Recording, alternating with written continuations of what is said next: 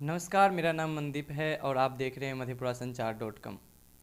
आज पप्पू यादव की गिरफ्तारी का दूसरा दिन है। कल गिरफ्तारी हुई थी पटना के, उनके आवास उत्तरी मंदिर पर। वहाँ से उन्हें गांधी मैदान थाना ले गया था और उसके बाद प्रशासन द्वारा जो है पहले ऐसा बताया गया कि लॉकडाउन के उल्लंघन मामले में इनके ऊपर एफआईआर है और उसके बाद फिर पता चला शाम तक कि 32 साल पुराना मुकदमा जो है पप्पू यादव पर था। उनके तहत उनको प्रशासन द्वारा मधेपुरा लाई गई और रात में, रातों रात जो है, उन्हें बीरपुर जेल शिफ्ट कर दिया गया। अब वहाँ पर जेल शिफ्ट हो जाने के बाद पप्पू यादव जी द्वारा एक ट्वीट की गई। उस ट्वीट में उन्होंने लिखा, वीरपुर जेल में मैं भूख हड़ताल पर हूँ। ना पानी है, ना वॉशरूम है।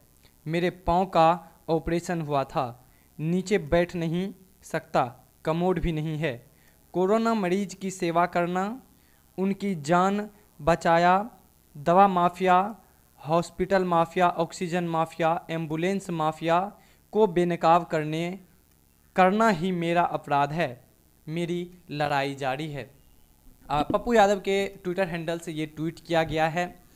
उसके बाद जो है, अभी, अब ऐसा माहौल बन चुका है कि लोग वापस फिर से आज प्रदर्शन करने में जुट चुके हैं और कई सारे लोग जो है, अपने आँखों पर काला पट्टी बाँध कर जो है, विरोध प्रदर्शन किए हैं पप्पू यादव की गिरफ्तारी का और पप्पू यादव फ़िलहाल भूख हड़ताल पर हैं, जिस तरह से उनका ट्वीट आया है, उसके बाद जो है, उनके समर्थकों में काफ़ी गुस्सा भर चुका है, क्योंकि एक तो बहुत सारे लोगों ने ऐसा कहा, एक तो चोरी, ऊपर से सीना जोड़ी।